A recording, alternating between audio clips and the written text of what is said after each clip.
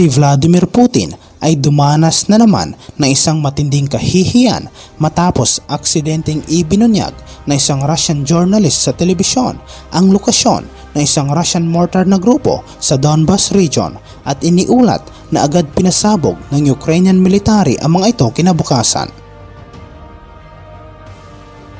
Ipinagmayabang na isang Russian journalist na si Alexander Kots ang napakalaking 2S4 Cholpan 244mm self-propelled heavy mortar sa isang propaganda report sa Severodonetsk matapos itong inilipat ng Russian Army mula sa syudad ng Mariupol sa Ukraine. Ang Cholpan na siyang pinakamalaking mortar system na ginagamit ngayon ay maaring magpakawala ng 288 pound na bala at mayroong range ito na 6 na milya. Maari din itong magpaputok ng mga Smelchak laser guided round, 3B11 nuclear shell at 308 rocket assisted cargo shell.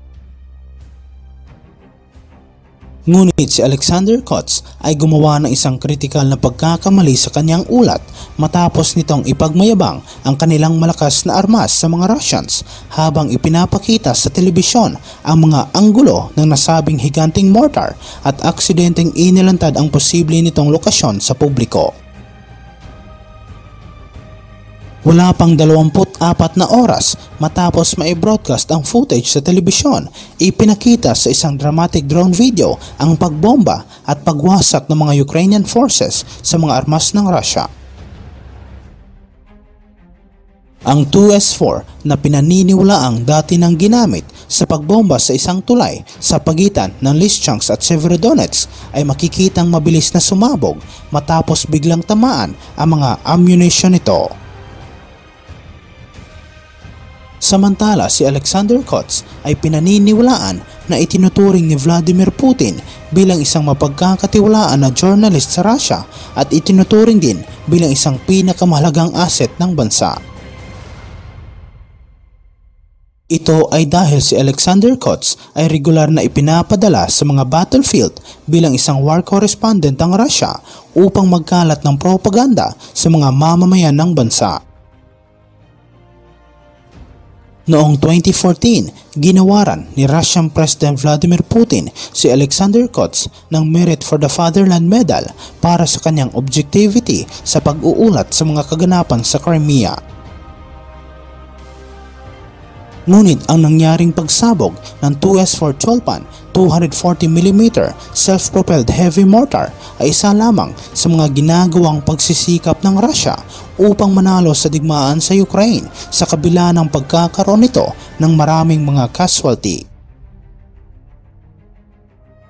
Samantala sa ibang aspeto naman, ang nuclear missile arsenal ni Vladimir Putin ay maaari umanong hindi masyadong dapat katakutan tulad ng sinasabi ng ilang mga eksperto matapos ibinunyag ng mga opisyal ng Estados Unidos na karamihan sa mga nuclear warheads ng Russia ay hindi gumagana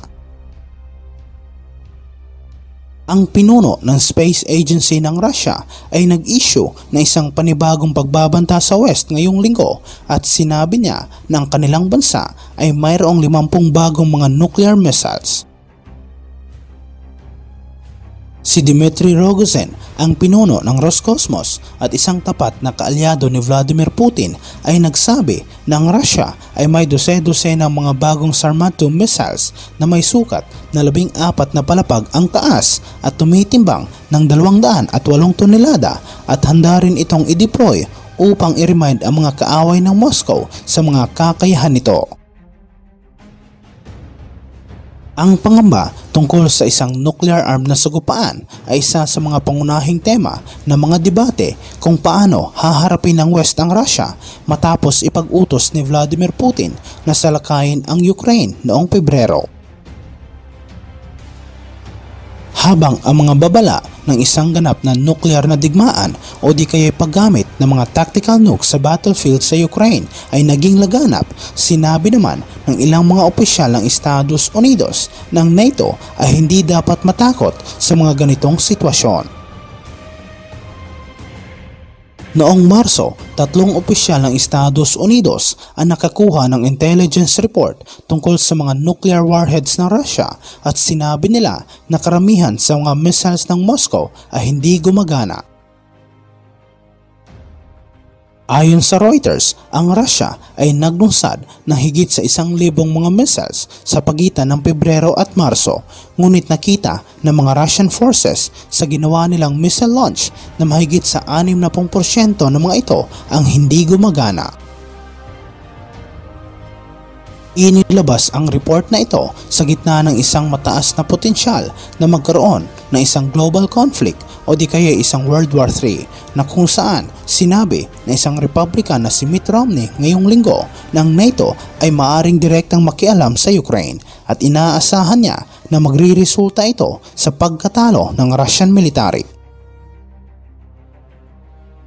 Sinabi rin ng dating US presidential candidate ng napapraning na si Vladimir Putin ay na-corner na ng Ukraine at dahil dito maaring gamitin ng Russian president ang kanyang mga nuclear weapons upang manalo.